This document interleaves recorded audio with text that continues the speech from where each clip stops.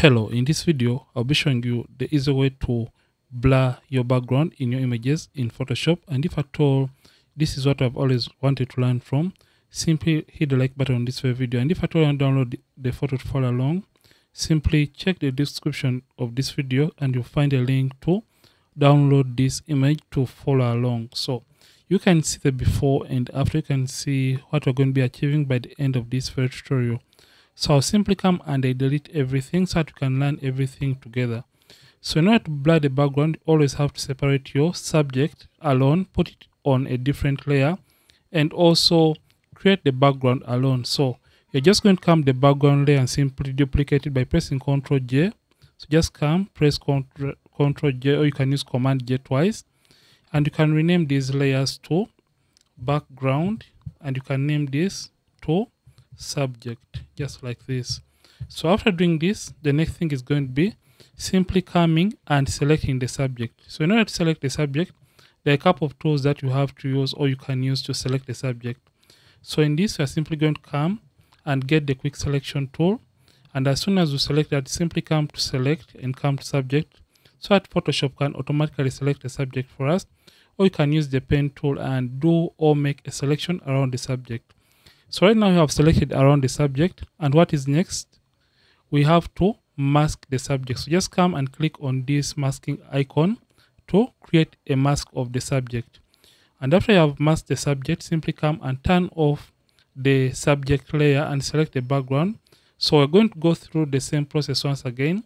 So the quick selection tool is selected, come back to select and simply come back to subject so that we can automatically select the subject. And after selecting the subject we want to eliminate the subject so that we can remain with the background. So we are simply going to come right here to edit fill and under content make sure content aware is selected. Make sure color adaptation is also checked and opacity is 100% and the mode is set to normal preserve transparency is not checked. Simply click on ok and photoshop is going to automatically eliminate the subject by using content aware and you can see the subject has been eliminated from this background layer. But we have to first of all deselect by pressing ctrl d or you can use command d on the keyboard to deselect the subject layer. So when you zoom in by using ctrl plus on the keyboard you can see some of the outlines have been left in the image. And you can easily remove these by simply coming and getting the spot brush tool the mode is set to normal content aware is selected. And after doing that make sure you simply come and click over the edges just like that. Draw over the edges just like that. And these edges are going to be eliminated. So i'm just going to paint around the edges just like that. And that is going to be cleaned out and i'll simply try to clear up on the rocks in the background. So after cleaning up the edges that were left initially, what we have to do, we are just going to come and turn back on the subject layer. And after turning it back on, so with the background layer selected, selected simply right click and come to convert to smart object. So it is on the background that we are going to be applying the blurring effect onto. So we have made the background layer as a smart object. The reason for doing that is because we want to be able to change the blur radius or the values of the blur of the background later on after applying them on the background layer. That is why you have changed this to a smart object. So after doing that, simply come to filter, come to your blur gallery and come to the tilt shift. So after you create that tilt shift, it is going to bring these lines right here. So the very first thing you have to do so simply come to the blur effect and simply just intensify it to see the effect. And after intensifying it you can see it is affecting the lower part of the image but this is not what we want. Simply hold down the option key on the keyboard and click on this pointer and drag it down just like that. And as you're doing this you can notice that it is going to start applying the blur in the background. So you're just going to take it down up the point whereby we are having a blurry background.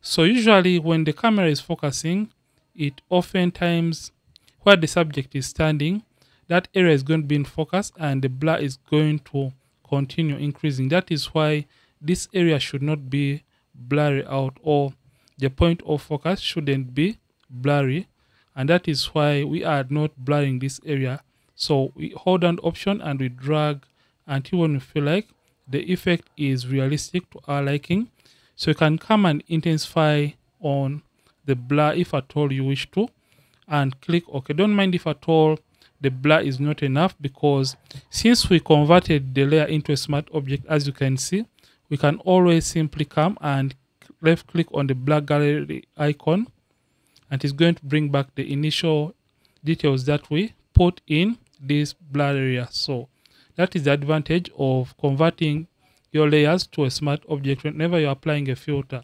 So you can see that the background has been blurred out well.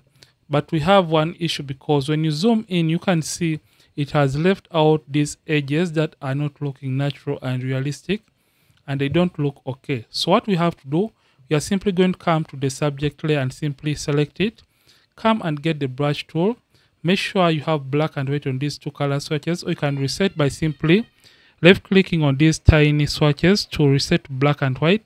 And make sure the brush settings soft round brush is selected hardness is zero mode is set to normal opacity at 100% flat 100% so by painting using a white brush you are going to be perfecting the subject.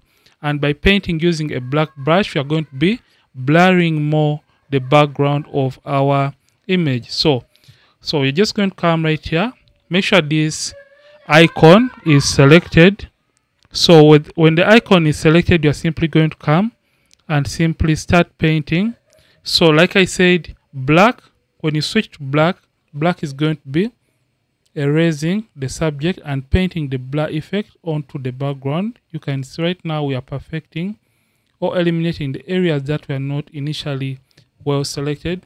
But when we zoom into the subject in this case, you can notice that the hand was not perfectly selected because when we turn off the background layer, you can see some part of the hand was not selected. So turn off the background layer and switch the brush back to white. Remember, this mask of the subject is white so you're just going to use a small brush and paint over the edge of the hand just like that so be careful and paint on the edge of the hand and after doing that just come back and turn on the background layer and you can simply fill in those remaining areas just like that and you can see this is going to fill in the areas that were not looking perfect initially so we're going to scroll down and we look for those areas. You can see background was not selected right here.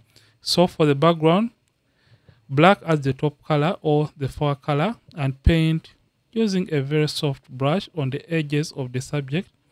And this is going to create a very smooth kind of edges for the subject selection. So you can see right here, this wasn't selected. So just going to paint just like that and by just doing this, you can see that we have created a nice and beautiful blur of the background. Remember, you can always change the effects or the values of the blur by simply coming back to this option, the black gallery. Simply click on it and you can always change the effect. So this is how you can simply blur the background of your photos when it comes to Photoshop. And if at all you have enjoyed this video, don't forget to like this video and don't forget to subscribe if at all you have been watching and you are not yet subscribed to this channel. Ronnix from Ronnix Photography. Thank for watching. See you in more videos on this channel. Don't forget keep practicing and also keep creating.